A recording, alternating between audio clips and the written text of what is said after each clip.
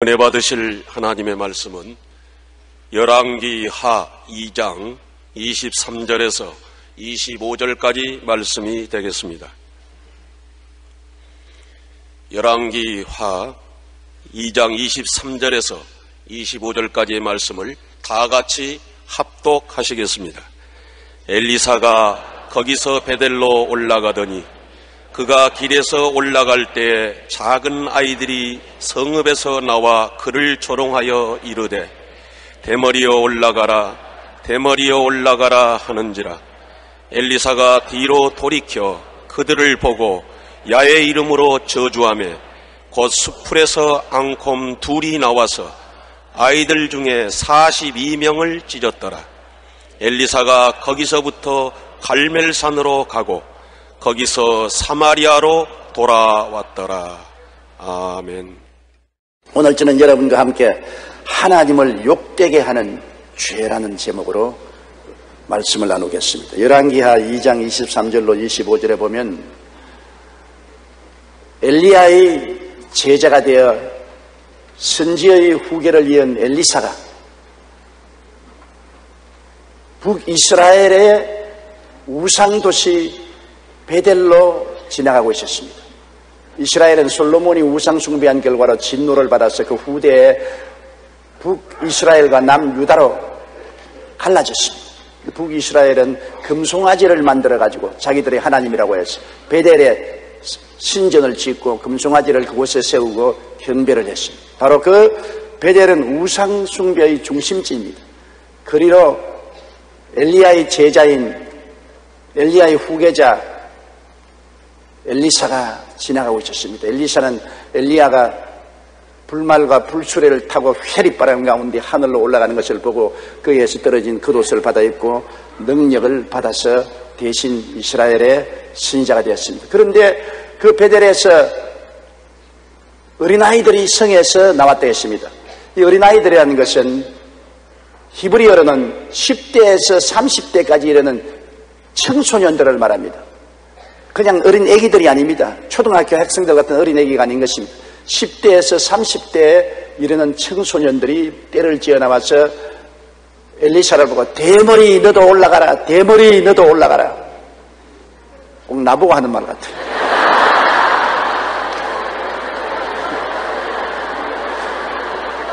저는 이 성경 구절을 읽을 때마다 고약합니다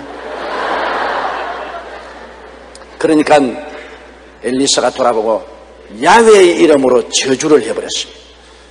내 생각에는 괴물이 올라가라고 한다고 돌아서서 야외의 이름으로 저주할 것까지 있겠느냐 그런 생각이 옛날에 났습니다만 의미를 알고 보면 그렇지 않습니다.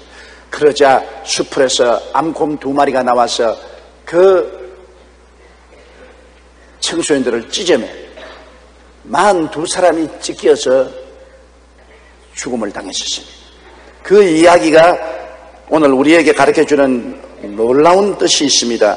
그 의미를 여러분과 함께 알아보자 하는 것입니다. 첫째로 그들이 엘리사를 보고 대머리에 올라가라, 대머리에 올라가라 한 것은 단지 엘리사 보고 모욕하기 위해서 한 것이 아닙니다.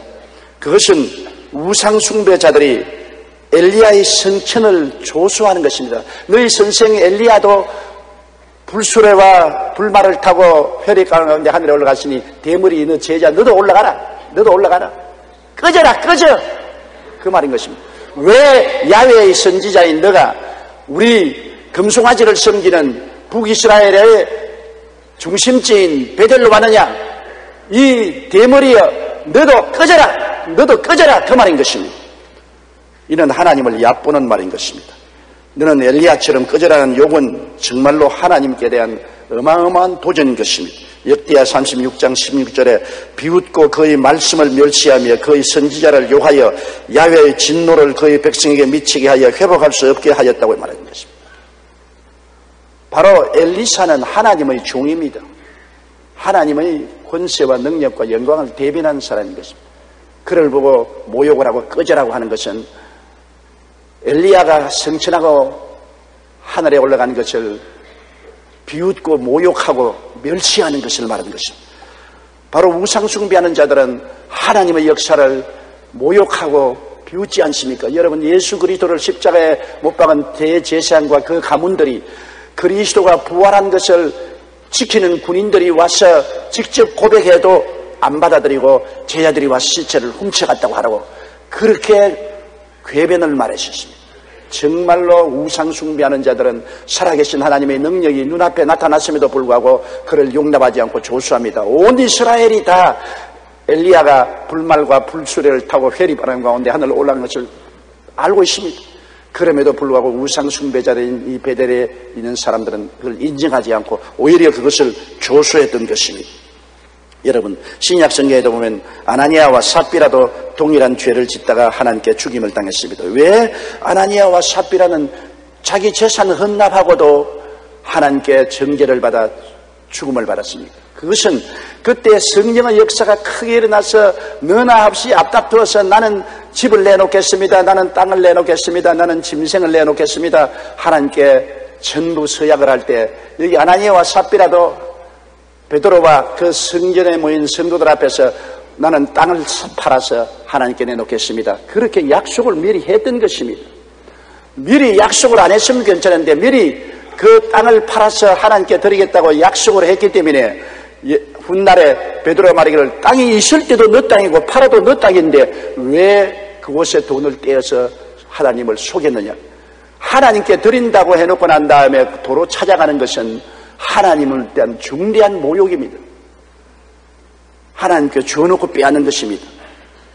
그래서 아나니아와 삽비라가 이논하고 그 땅을 팔아서 그 땅의 돈 얼마를 감추고 난 다음 베드로에게 와서 이건 내가 약속한 땅 전체를 다 내놓았습니다. 그때 하나님의 성령이 베드로를 통해서 네가 왜 감히 하나님의 성령을 속이느냐? 사람을 속인 것이 아니라 성령을 속인 것이다. 그러자 그 자리에서 그꾸러져 죽었습니다.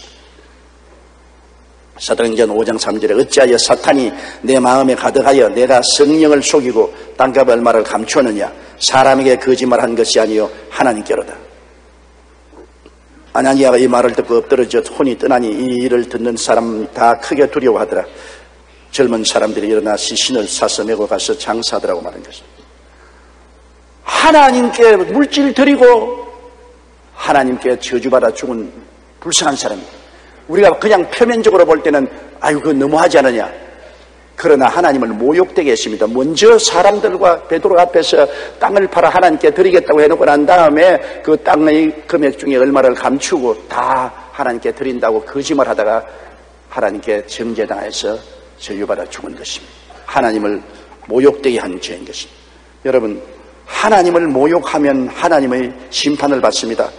그들이 엘리야, 엘리사를 보고 대머리에 올라가라, 대머리에 올라가라, 너도 엘리야처럼 올라가라, 하늘로 올라가라, 꺼져버려라. 그렇게 말한 것은 하나님에 대한 멸시와 적대적인 행위인 것입니다. 하나님의 기적을 완전히 깔아뭉개는 것입니다. 무시하는 것입니다. 뭐, 엘리야를 불말과 불술에 태워서 하늘로 올라가면 장땡이냐? 그만, 그렇게만 하면 죄이냐? 무시하는 말인 것입니다. 민수기 14장 11절로 12절에 야외께서 모세에게 이르시되 이 백성이 어느 때까지 나를 멸시하겠느냐? 내가 그들 중에 많은 이적을 행하였으나 어느 때까지 나를 믿지 않겠느냐? 내가 전염병으로 그들을 쳐서 멸하겠다고 하는 거죠. 사무엘상 2장 30절에 나를 존중히 여기는 자를 내가 존중히 여기고 나를 멸시하는 자를 내가 경멸하리. 그 베델에 있는 사람들은 우상숭배자들이기 때문에 하나님을 경멸했습니다 멸시했습니다 그 기적을 인정하지 않았었습니다. 하나님의 기적을 무시했습니다. 신약 성경에도 예수님이 귀신 쫓아낼 때 바리새 교인들이 예수님이 귀신 쫓아내는 것을 조수했습니다. 마태복음 12장 22절로 24절에 그때 귀신 들려 눈 멀고 말 못하는 사람을 데리고 왔거늘 예수께서 고쳐주심에 그 말 못하는 사람이 말하며 보게 된지라 무리가 다 놀라 이르되 이는 다윗의 자손이 아니냐니 바리새인들은 듣고 이르되 이가 귀신의 왕 바알세보를 힘입지 않고는 귀신을 쫓아내지 못한 년이라 하거늘.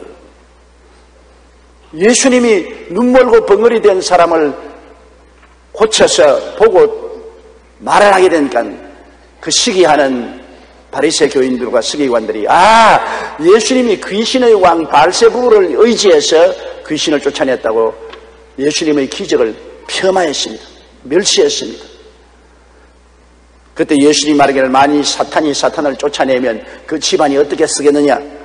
내가 하나님의 성령을 힘입어 귀신을 쫓아내는 것이면 하나님 나라가 너에게 이미 임하였느니라. 그리고 주님께서 그들에게 정지하여 말하기를 마태복음 12장 31절로 32절에 그러므로 내가 너에게 이르노니 사람에 대한 모든 죄와 모독은 사심을 얻되 성령을 모독하는 것은 사심을 얻지 못하겠고 또 누구든지 말로 인자를 거역하면 사심을 얻되 누구든지 말로 성령을 거역하면 이 세상과 오는 세상에서도 사심을 얻지 못하랴.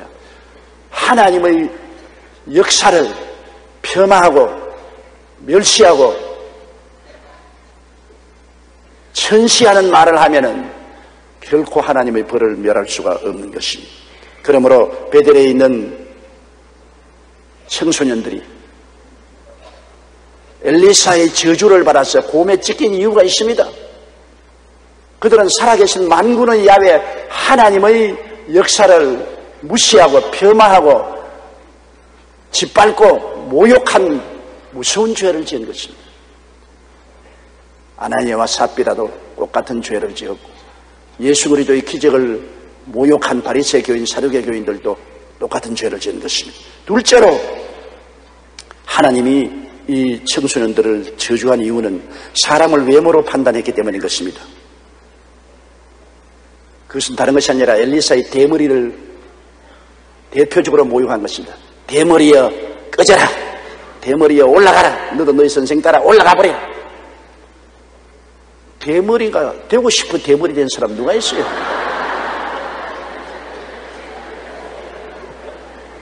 나는 눈에 이 눈썹에 여기 흰 머리가 하나가 길게 났는데 우리 집 사람이 그거 뽑, 뽑자고 그러게 나 손대지 마라 손대지 마라. 그한 오락이 나는 얼마나 귀한지 모른다. 길어도 좋으니까 그대로 내버려 두라. 제가 그렇게 말했습니다. 이 대머리가 된 사람은 굉장히 자기 대머리에 대해서 자격지심을 가지고 있습니다. 우리 애들이 어릴 때 애들과 함께 식사를 하는데 우리 애들 중에 한 사람이 저희 집 사람을 보고 엄마 엄마 아버지하고 왜 결혼했어? 왜 그러니까 창피하게 대머리하고 왜 결혼을 했어? 그때 나는 충격을 받았습니다.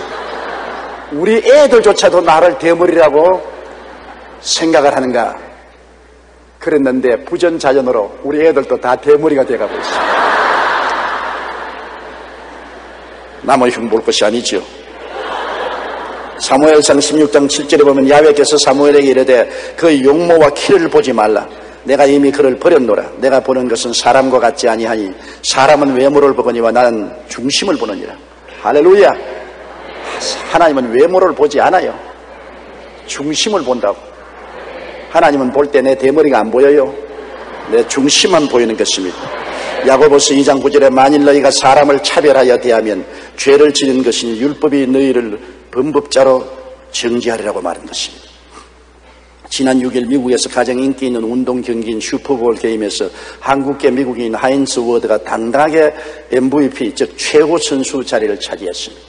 굉장히 미국의 뭐 매스컴을 타고 한국 매스컴도 끊임없이 그에 대해서 이야기를 했습니다.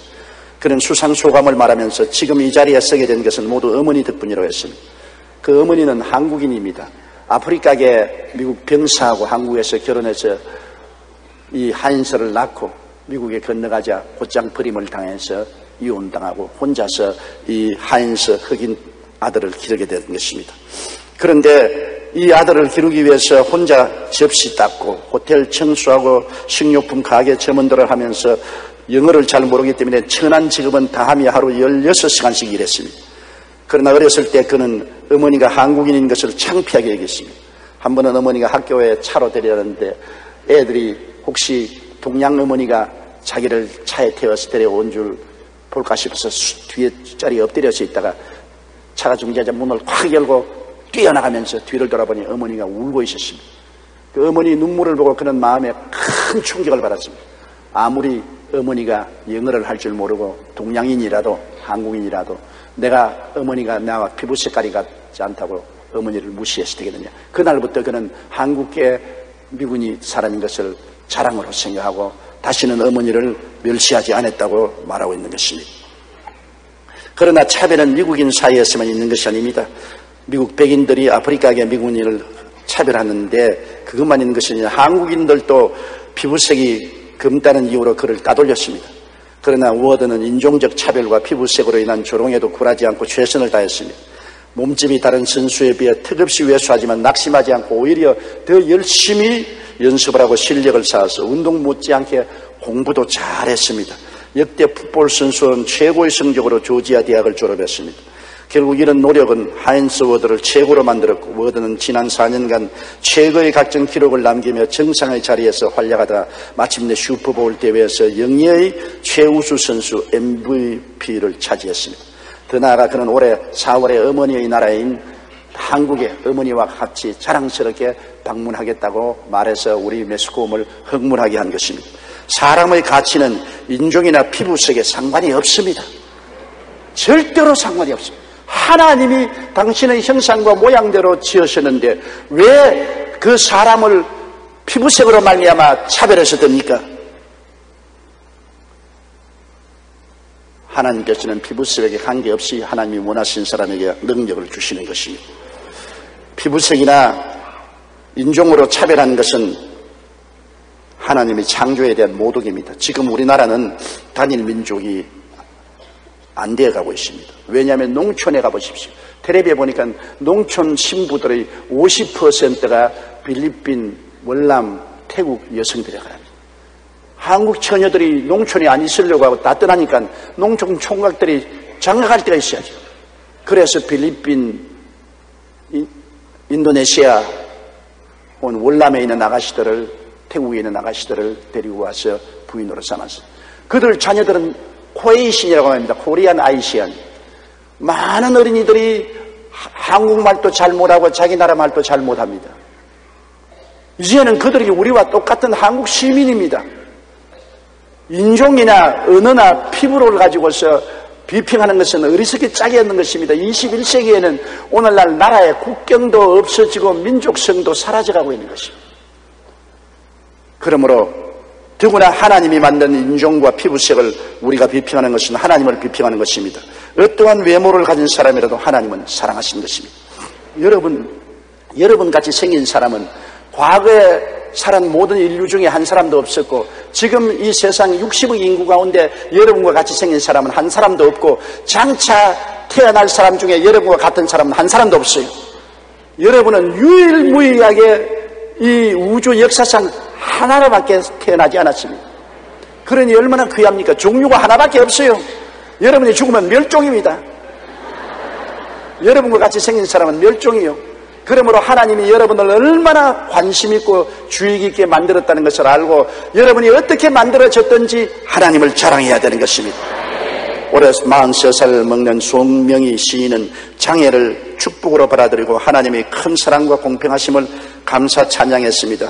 여러분 송명희 시인이 나라는 찬양으로 잘 알려진 시를 지었습니다. 그 시인은 태어날 때 의사의 실수로 뇌를 다쳐 중증 장애를 입었습니다. 의사가 뇌를 집게로 잘못 건드리는 바람에 신체의 움직임을 조절하는 손해가 손상되어 평생 제대로 몸을 가늠할 수 없는 불구자가 되었습니다. 그리고 아주 가난한 집에 태어나서 자랄 때 분유조차 올바르게 충분히 먹을 수 없는 그런 처지에서 태어났습니다. 자라면서 숙명인 시인은 자신의 처지에 절망해서 자살을 기도하기도 했습니다. 그러나 17살 때 죽더라도 나를 내성마비 장애인으로 세상에 나오게 하신 하나님의 뜻이나 알고 죽자. 그래서 결사적으로 그는 하나님께 매달려 하루에 몇 시간씩 하나님 왜 나를 장애인으로 세상에 태어나게 했습니까? 왜 이랬습니까? 기도하는 중에 하나님을 만나게 돼요. 하나님의 음성을 듣고 거듭나게 되었습니다. 그 이후로 그는 하루에 다섯 시간씩 기도하고 성경을 30회 통독했습니다. 송명희 시인이 거듭난 후 하나님의 사랑에 감격해서 지은 시 중에 나라는 시가 있는데 많은 사람들에게 용기를 주었습니다. 저도 이 나라는 시를 읽고 굉장한 감동을 받았습니다. 나 가진 재물 없으나 나 남이 가진 지식 없으나 나 남에게 있는 건강 있지 않으나 나 남이 없는 것 있으니 나 남이 못 본 것을 보았고 나 남이 듣지 못한 음성 들었네. 나 남이 받지 못한 사랑받았고 나 남이 모르는 것 깨달았네. 나 남이 가진 것 나 없지만 공평하신 하나님이 나 남이 없는 것 같게 하셨네. 여러분 송병인 시인은 휠체어에 몸을 싣고 지금까지 1500회 이상 국내 집회에 나갔고 자신의 몸 하나 가누지 못하면서 25권의 책을 내고 100곡이 넘는 노래 가사를 지었습니다. 송명희 시인 같은 분은 이 우주 가운데 오직 한 분밖에 없는데 그렇게 온몸이 이그러지고 불구자가 되어 있어도 하나님은 그에게 우리보다 더 놀라운 하나님의 은혜를 받고 음성을 듣고 계시를 주어서 놀라운 사역을 하는 것입니다. 여러분은 몰라도 송명희 시인은 오늘 저도 알고서 여러분에게 설교하고 있지 않습니다. 하나님은 공평하신 하나님이신 것입니다. 현재 그는 건강이 악화되어 혼자 힘으로 휠체어 타지 못합니다. 1997년부터 거의 전신마비가 되어 컴퓨터 자판 하나를 찍는데 어떤 때는 30분이 넘게 걸리기도 합니다. 그러나 이런 상황에도 어려우면 어려울수록 공평하신 하나님의 사랑이 가슴에 사무친다. 나는 장애를 통해 남이 깨닫지 못한 진리를 알게 되고 수많은 사람의 사랑을 받았으니 하나님은 공평하시다고 말하고 있지 않느냐고 했습니다. 여러분 사람이 보기에 무능력하고 형편없이 보이는 사람이라 할지라도 하나님은 동일하게 그 사람을 사랑하십니다. 똑같이 사랑하는 하나님의 자녀들인 것입니다. 하나님은 사람을 외모로 보지 않습니다. 우리가 사람을 외모로 보고 판단하는 것은 하나님에 대한 모욕이요. 하나님을 비평하는 것입니다. 베델에 있는 젊은이들이 엘리사를 보고 대머리 올라가라, 대머리 올라가라는 것은 하나님에 대한 굉장한 모독입니다. 하나님이 필요해서 엘리사를 대머리로 만드는 거예요. 엘리사를 요구하는 것은 하나님의 솜씨를 요구하는 것이 하나님의 권위를 모욕하는 것이 하나님이 굉장히 노했던 것입니다. 외모는 일시적인 것이요 마음이 영원한 것이라는 것을 잊지 마십시오. 부자와 나사로 보십시오. 부자는 배옷과 자색 옷을 입고 매일같이 연락했습니다. 그러나 거지 나사로는 그 대문가에 쭈그리고 앉아서 떨어진 밥상에 부처르기를 먹고 개들과 함께 잤습니다. 외모로 볼 때 부자가 얼마나 영화롭습니까? 거지 나사로가 얼마나 비천한 인간입니까? 그러나 인생은 외모로 결정지는 것 아닙니다. 부자는 속이 비었고 거지 나사로의 속에는 하나님이 계셨습니다. 그들은 둘 똑같이 죽었어요. 거지 나사로는 천사에게 받들려 아브라함의 품 낙원에 들어가고 부자는 죽어 음부의 불꽃 가운데 들어갔습니다. 하나님은 이 세상의 사람의 외모를 취하여서 영원한 운명을 결정하지 않습니다. 우리 속에 무엇이 있는가 그것이 가장 중요한 것입니다. 우리도 사람을 외모로 판단하지 마십시오. 속에 무엇이 있는가를 보아야 되는 것입니다. 우리가 즐겨 부르는 복음성가 중에 세상에서 방황할 때 라는 노래가 있지 않습니까? 이 천상은, 이 찬송은 무명의 사형수가 남긴 글에 안철호 씨가 곡을 붙여 만든 것입니다. 사형수의 신앙 고백입니다. 그는 비록 사형수였지만 예수 그리스도를 만나고 마음이 변화됐습니다. 외모로는 사형수입니다. 남의 생명을 빼앗은 사람입니다. 변화받았습니다. 예수를 모시고 난 다음 사형수의 옷을 입고 있으나 속에는 보배로운 예수님이 계셨습니다. 많은 사람 찾아와서 나의 친구가 되어도 병든 몸과 상한 마음 위로받지 못했다고 예수여 이 죄인을 불쌍히 여기옵소서 의지할 곳 없는 이 몸 위로받기 원합니다. 이 죄인의 애통함을 예수께서 들으셨네. 못자국난 사랑의 손 나를 어루만지셨네. 내 주여 이 죄인이 다시 눈물 흘립니다. 오내 주여 나 이제 아무 걱정 없어요. 내 모든 죄 무거운 짐 이젠 모두 다 벗었네. 우리 주님 예수께서 나와 함께 계신다고. 내 주여 이 죄인이 무한 감사드립니다. 나의 몸과 영혼까지 주를 위해 바칩니다. 하나님 앞에서는 우리가 가진 열등한 조건이 아무런 문제가 되지 않습니다. 하나님은 우리가 어떠한 외모를 가지고 있다 할지라도 변함없이 사랑해 주시는 것입니다. 하나님은 세상을 이처럼 사랑하사 독생자를 주셨어. 그 예수 그리스도를 통해서 우리를 얼마나 사랑한다는 것을 우리는 상상을 할 수가 없습니다. 부모들이 자식을 보고 늘 말합니다. 내가 너를 얼마나 사랑하는지 너도 부모가 되어보면 알 것이다. 사실입니다. 자식은 부모가 나를 얼마나 사랑하는지 이해가 안 돼요. 그러나 자기가 자식을 낳아서 길러보면 부모가 자식을 얼마나 사랑한다는 것을 이해할 수가 있게 되는 것입니다. 하나님은 그러기 때문에 사람을 외모로 비평하는 것 아주 싫어합니다. 그 사람이 문둥병이든 휠체어에 앉은 장애인이든 머리가 벗어졌던 아름다운 미모든 사형수든 하나님께서는 모두 다 예수를 믿고 구원받기를 원하고 사랑하시는 것입니다. 셋째로 하나님의 종을 상처 입히지 말라는 교훈을 이를 통해서 우리에게 보여주는 것입니다. 여러분 엘리사는 보통 자연인이 아닌 것입니다. 그는 하나님의 나라를 대표하는 하나님의 종이요 하나님의 위엄과 권세의 법계를 걸머쥐고 있는 사람인 것입니다. 주의 종이란 사람의 종이 아니요 주님의 영광과 명예를 걸머진 종인 것입니다. 노아를 비웃은 둘째 아들 함과 그에게 내린 저주를 여러분 잘 알지 않아요? 노아 홍수 이후로 방주에서 나와서 노아가 포도 농사를 짓고 포도를 짜서 두었다가 마시는데 그것이 술이 된 것을 몰랐습니다. 왜냐하면 홍수 이전에는 술이 없었어요. 그가 포도주를 마시고 난 다음 술이 취해서 뭐 옷을 다 벗어버리고 아마 굉장히 술이 열을 발휘해서 더웠던가 봐요. 아예 내복도 다 벗고 내의도 다 벗어버리고 대큰 대자로 들어 누워서 자고 있으니까 그 둘째 아들 함이 들어가서 보고 뛰어나와서 형들에게 샘과 야벨에게 야야야 큰 구경거리 생겼다. 아버지가 벌거벗고 큰 대자로 들어놓는데 본전까지 다 드러내놓았다. 아, 큰 재미거리다, 구경거리다. 아버지가 어떻게 저렇게 할 수 있냐? 아버지를 조수했습니다. 여러분, 한 가정의 아버지는 제사장입니다. 그 가정에 하나님을 대변한 사람이죠. 그 아버지를 조수했습니다. 아버지가 깨어나서 그 이야기를 들었습니다.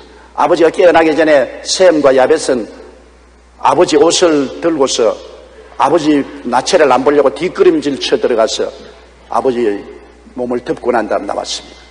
그러니까 아버지가 깨어나서 하나님 앞에서 샘의 하나님을 찬미할지로다.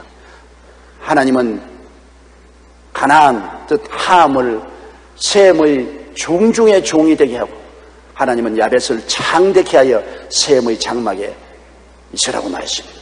바로 이것은 노아의 입을 통해서 하나님이 말씀한 것입니다. 가정의 제사장인 그 아버지를 모욕한 죄로 말미암아 함은 셈의 종중의 종이 되고 야벳의 종이 되었습니다. 얼마나 비극적인 일인 것입니까? 우리가 모세를 비난한 아론과 미리암과 하나님의 진노를 또 보아야 할 것입니다. 모세의 누이 아론은 모세하고 굉장히 가깝습니다. 모세가 갈대 상자에 어린 애기로서 담겨서 나일강에 버렸을 때 그를 끝까지 지켜서 바로 이 공주의 청을 따라서 유모를 구할 때 자기 어머니를 유모로 데려온 사람이 바로 모세의 누이 미리암입니다. 그러므로 미리암은 모세에 서는 생명의 은인이요. 또 아론은 모세의 바로 위 형님인 것입니다. 그런데 그들이 광야를 지나올 때 모세가 구수 여자를 취해서 아내로 삼았습니다. 모세의 전처는 세상을 떴는지 안 떴는지 성경은 기록이 없습니다. 그 모르겠어요. 저하간 구수 여자를 취해서 아내로 삼았습니다. 이스라엘 여자를 취해서는 또 모르겠지만은 피부 색깔이 다른 구수 여자를 택해서 아내로 삼았기 때문에 미리함과 아론이 모세를 비난했습니다. 대중 앞에 서서 지만 선지자냐? 우리도 하나님의 묵시와 계시를 받는다. 지가 뭐라고 해서 이스라엘의 여자를 버려놓고 피부 색깔이 다른 구수 여자를 취해서 아내를 찾느냐? 왜 우리하고 인혼도 하지 않았냐? 비난했었습니다. 모세는 누굽니까? 미리암의 동생이기 전에 아론의 동생이기 전에 하나님의 종입니다. 민수기 12장 1절로 2절에 모세가 구수 여자를 취하였더니 그 구수 여자를 취하였으므로 미리암과 아론이 모세를 비방하니라. 그들이 이르되 야외께서 모세만 말씀하느냐 우리와도 말씀하지 아니하시느냐 하며 야외께서 이 말을 들으셨다. 민수기 12장 8절에 하나님께서 말씀하기를 모세 그와는 내가 대면하여 명백히 말하고 은밀한 말로 하지 아니하며 그는 또 야외의 형상을 보고는 너희가 어찌하여 내 종 모세 비방하기를 두려워하지 않았냐 그리고 모세와 아론과 미리암이 함께 하나님의 회막 앞에서 만나는데 회막에서 하나님 구름이 떠나가고 하나님이 아론을 아론과 미리암을 미워하시고 미리암을 저주해 버렸습니다. 민수기 12장 10절에 구름이 장막 위에서 떠나갔고 미리암은 나병에 걸려 눈과 같더라. 아론이 미리암을 본적 나병에 걸렸더라. 문둥이가 되어버렸습니다. 문둥이는 하나님의 저주를 받은 병인 것입니다. 천령에 걸렸습니다. 그래서 아론이 모세에게 주여 미리암이 문둥이가 걸려서 코가 다 문드러지고 손가락 발가락이 다 떨어져 나가고 비참하게 돼서 죽으면 어떻게 하겠습니까? 죄를 용서해 달라고 모세가 하나님 앞에 누님을 용서해주고 불쌍히 여기 달라고 강구하니까 하나님이 민수기 12장 14절에 그 아버지가 그의 얼굴에 침을 뱉었을지라도 그가 이래 동안 부끄러워하지 않겠느냐 그런즉 그를 진영 밖에 이래 동안 가두고 그 후에 들어오게 하라 하나님이 그를 이래 동안 진 밖에서 회개하고 돌아오도록 기회를 주고 그를 고쳐서 건강하게 만들어 주는 것입니다. 여러분 하나님의 종은 하나님의 위엄과 능력과 권세를 대변한 사람입니다. 자연인이 아닌 것입니다. 그러므로 하나님의 종에 대한 모욕은 바로 하나님에 대한 모욕이 되고 하나님의 종을 공격하는 것은 하나님을 공격하는 것이 되고 마는 것입니다. 우리가 성경에 보면 기름 부음 받은 자에 대한 사울과 다윗의 태도를 보십시오. 사울도 기름 부어 왕이 되었고 다윗도 하나님이 기름 부은 자인 것입니다. 그러나 사울 왕은 하나님의 기름 부으심을 받은 다윗을 끝까지 죽이려고 했습니다. 사무엘상 19장 1절에 사울이 그의 아들 요나단과 그의 모든 신하에게 다윗을 죽이라 말하였습니다. 끝까지 다윗을 따라다니면서 죽이려고 했습니다. 기름 부은 받은 자를 죽이려고 했었습니다. 그러나 다윗은 타락한 하나님의 종이지만 사울을 죽이지 않았습니다. 두 번이나 하나님이 죽이라고 아예 손앞에 갖다 줘도 하나님의 기름 부은 자는 난 타락을 했어도 하나님이 손대지 나는 손 안 대겠다고 다윗은 절대 손대지 않았습니다. 엥게디 광야의 황무지 굴 속에 다윗과 그 부하들이 숨어 있는데 다윗을 잡으러 대군대를 끌고 오던 사울 왕이 그 굴 앞에 와서 신하들을 다두고서 굴에 대변 보러 들어왔습니다. 그런데 다윗하고 신하들이 절굴 깊숙한 데 숨어 있는데 이 사울이 와서 앉아가 허리 바지 다 내리고 응가를 합니다. 그럼 다윗의 손에서 날 잡아 죽이시오 하고 들어온 겁니다. 그래도 다윗이 어떻게 했습니까? 사무엘상 24절 10절에 내가 왕을 아껴 말하기를 나는 내 손을 들어 내 주를 해하지 아니하리니 그는 야외의 기름 부음을 받은 자이기 때문이라 하였나이다. 안 주겠습니다. 그 옷자락만 자르고 안 주겠습니다. 하나님이 사울 죽여라고 바로 눈앞에 갖다 놨는데도 하나님의 기름 부은 자는 하나님이 직접 서시, 손을 대어서 치면 몰라도 나는 손안 되겠다. 내가 하나님의 기름 부은 자, 하나님의 종이었던 자에게 죽임으로 범죄하지 않겠다고 다윗은 했습니다. 그것은 사울을 존경해서 그런 게 아니라 하나님을 존경해서 그런 거죠.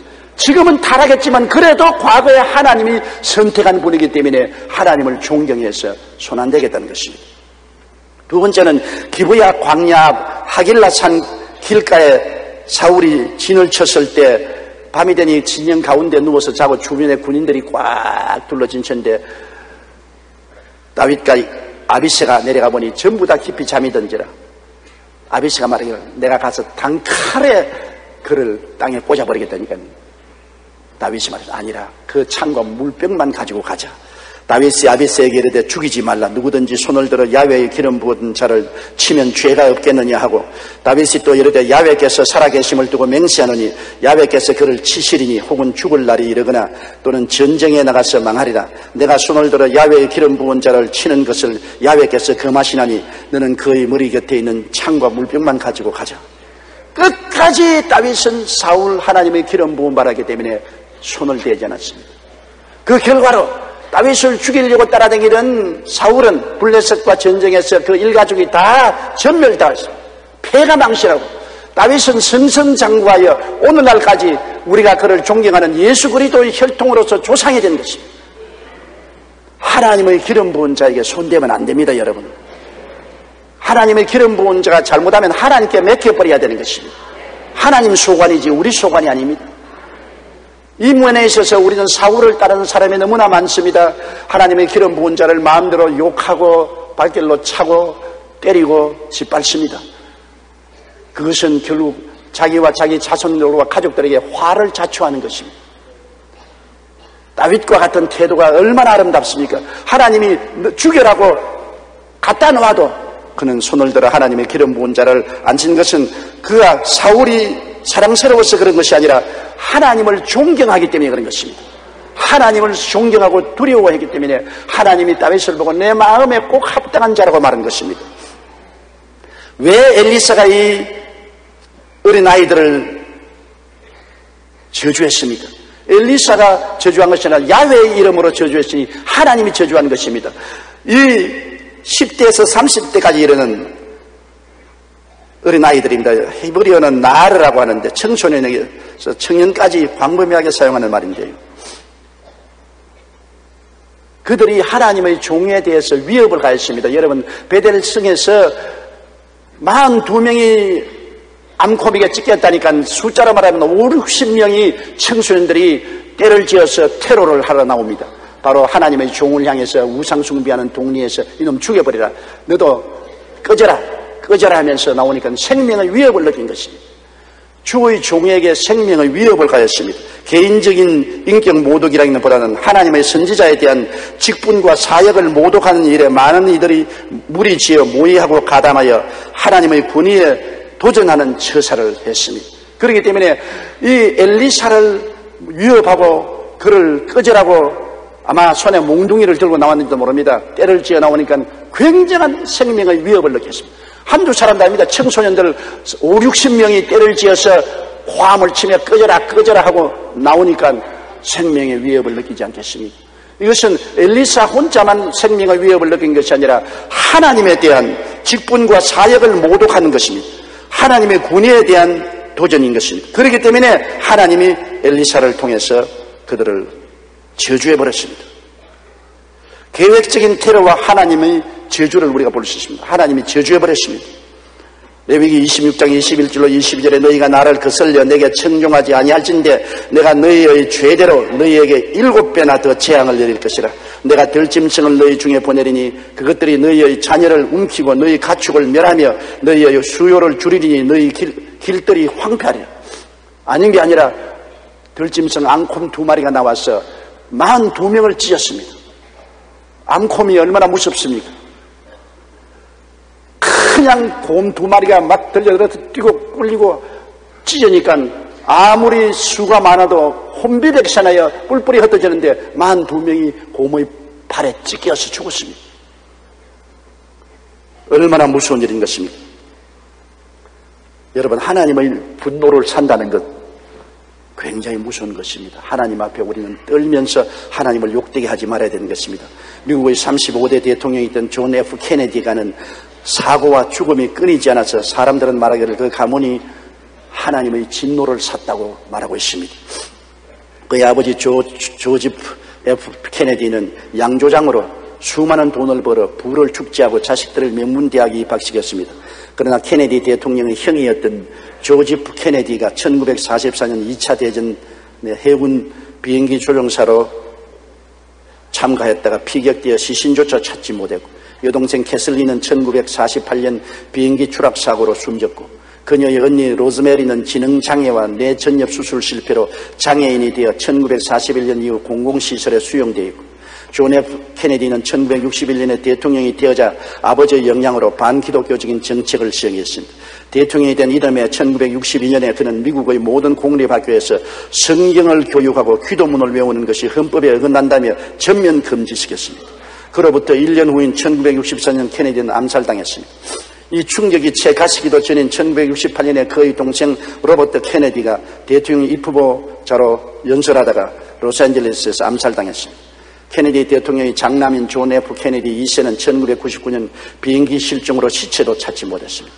동생 로버트 케네디의 아들인 데이비드는 1984년 한 호텔에서 약물 과다 복용으로 숨진 채 발견되었고 그의 동생 마이클은 1997년 12월 음주 스키 타다가 스키 사고로 죽었습니다. 이처럼 가문의 저주가 계속되자 양조장을 했던 케네디의 아버지 조지 F. 케네디는 내가 수십 년 동안 술을 만들어 그 술로 인해 많은 사람들의 가정을 파괴하고 사랑과 안정을 빼앗았더니 이제 그 보응을 받는구나 하고 탄식했습니다. 많은 사람들을 타락의 길로 밀어넣은 양조장사하고 기독교 교육을 법적으로 금지한 케네디의 정책 등이 하나님을 욕되게 한 일들로 인하여 가문이 하나님의 진노를 산 것입니다. 여러분 하나님께서는 모든 것을 보고 계십니다. 하나님을 욕되게 하는 죄를 지으면 금방은 잘 되는 것 같지만 반드시 하나님의 심판이 임한다는 것을 알아야 되는 것입니다. 많은 사람들이 하나님을 욕되게 하고도 태연자약하게 부끄럽지 않게 낯두껍게 삽니다. 그러나 하나님의 자녀들이 하나님을 의식 무의식 중에 모욕하는 것을 하나님은 가만 내버려 두지 않습니다. 하나님을 욕되게 하고 평안할 수가 없습니다. 반드시 금세와 내세 하나님의 심판을 받게 되는 것입니다. 그러므로 오늘 엘리사가 체험한 베델의 사건은 두고두고 우리에게 경계가 되고 우리의 신앙의 올바른 안내가 되기를 바람하지 않습니다. 다 같이 고개 숙여 기도하겠습니다. 하나님 우리 아버지요. 하나님 아버지의 영광을 우리는 감사하고 찬미하며 하나님을 떨림으로 섬기게 도와주시옵소서. 사람들은 하나님을 너무나 만만히 보고 무시하고 모욕을 할 때가 많습니다. 하나님의 행하시는 모든 일을 경탄하고 떨림으로 경배하고 감사하고 찬미하며 믿고 따라 나가게 하여 주시옵소서. 예수님 이름으로 기도드립니다.